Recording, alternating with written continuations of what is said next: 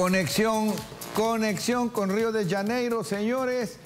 Hace pocos minutos ya el Flamengo partió hacia Guayaquil para la final del día sábado de Copa Libertadores de América. Sí, señores, ya Flamengo, el banderazo, parte a Guayaquil.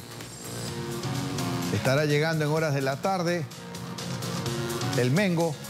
Ahí está el bus del conjunto ídolo de Brasil, el equipo que más hinchas tiene en América Latina.